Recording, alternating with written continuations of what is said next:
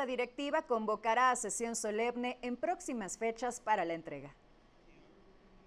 Y como le hemos venido informando en los últimos días, el Senado de la República acordó entregar la medalla Belisario Domínguez en su edición 2020 a las personas que integran el Sistema Nacional de Salud por su incansable lucha contra el COVID-19 en México. Y le voy comentando que la entrega de esta presea se realizará en sesión solemne el próximo 18 de octubre a las 12 horas.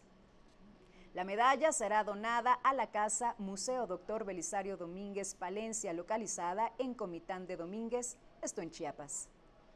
A la sesión solemne se invitará a los representantes de los poderes de la Unión, así como del gobierno de Chiapas.